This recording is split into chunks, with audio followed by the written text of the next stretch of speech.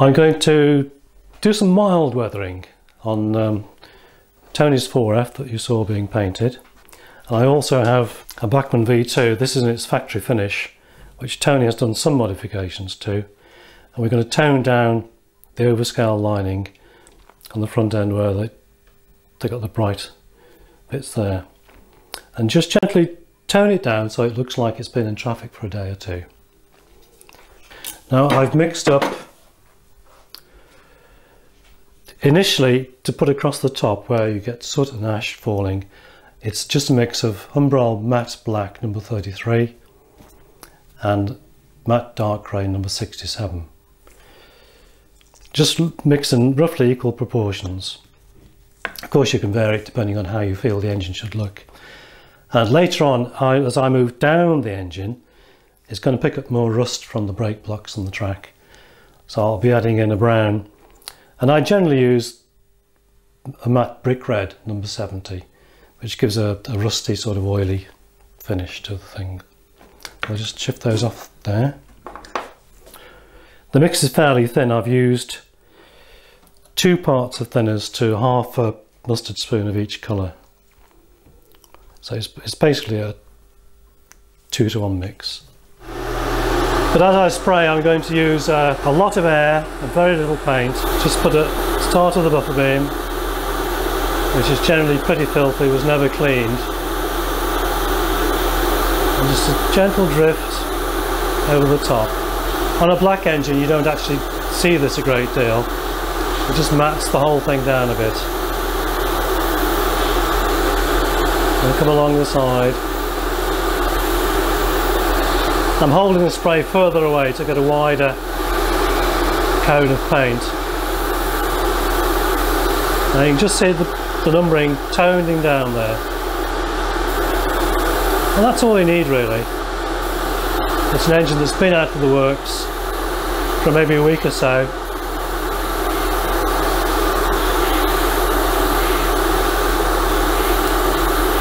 And of course 4Fs were never cleaned and just do the same with the front number plate.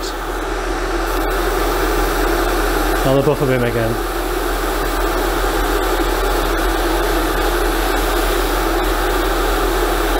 It also tones down the shininess on the coupling.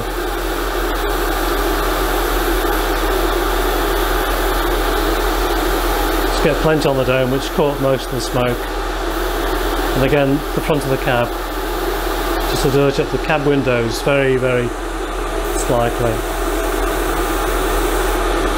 You can do the inside of the cab if it's detailed sufficiently, especially the cab floor. And we'll go for the tender now.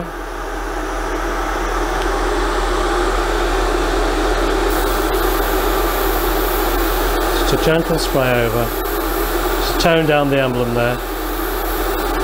I'm not doing this because I'm going to change the colour for there and likewise in there where you get a lot of rust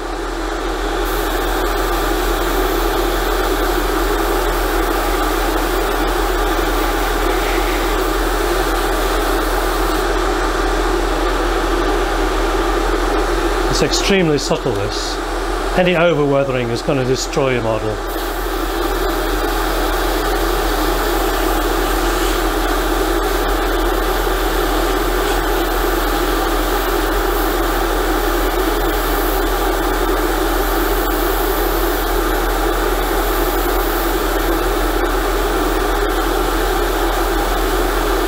Just inside the coal space trying to keep it off the coal is put in.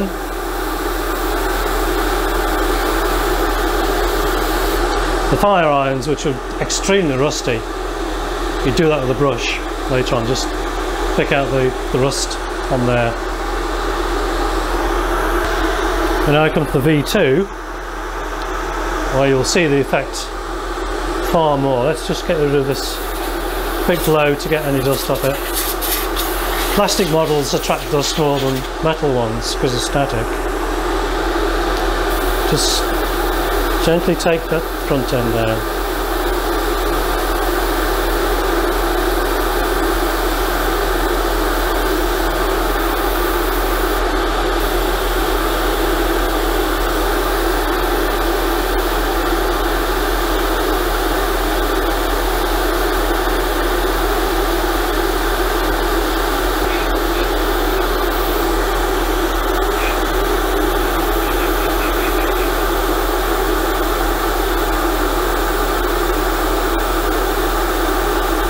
You just see the change of colour and the safety valves would never be bright. The valance is rarely cleaned anyway so we can do a bit more on that. And that's the one side done pretty well. And we just repeat for this side.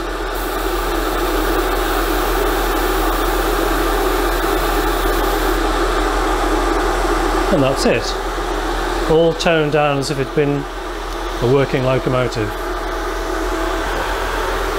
And the tender again.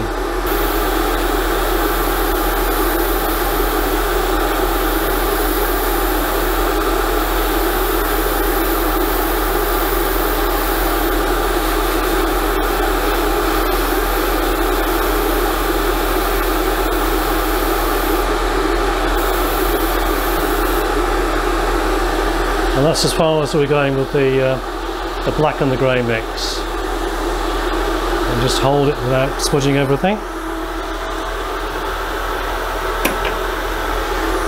What I'm doing now is adding a bit of brown to the mix.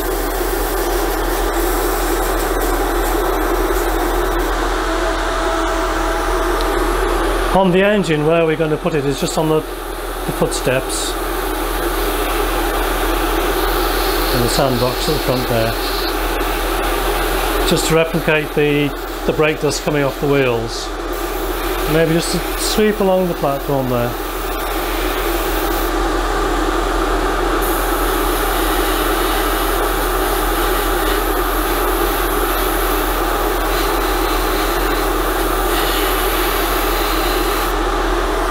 And on the tender, we get a lot of water sloshing around in this area which would lead to rust which is it's an ideal place to, to, dry brush weathering in there but we can just put a, a gentle drift of a browny colour just to show it's never cleaned, always neglected. And perhaps a bit on the platform there but also on the frames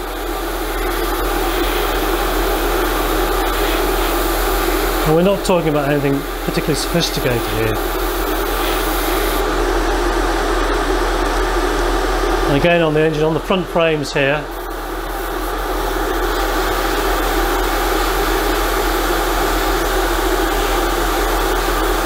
on the footsteps, and on the rear frame as well.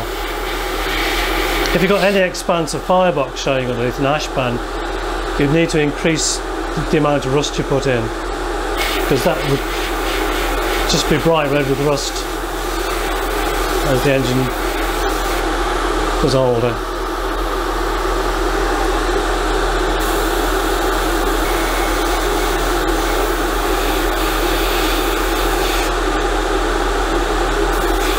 And finally the tender treated the same way as the 4F tender, except here we've got the wheels on, which uh,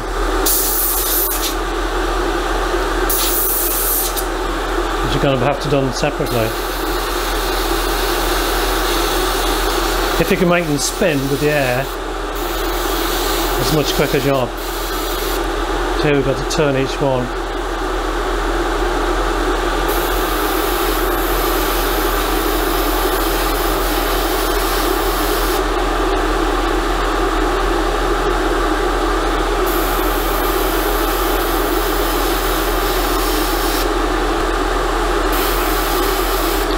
Right, that's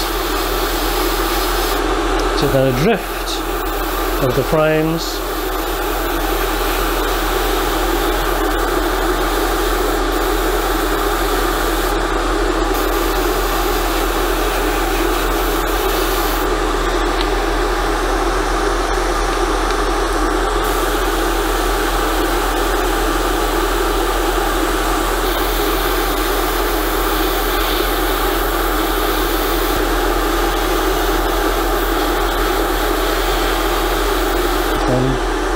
That is your weathered, well, gently weathered engine.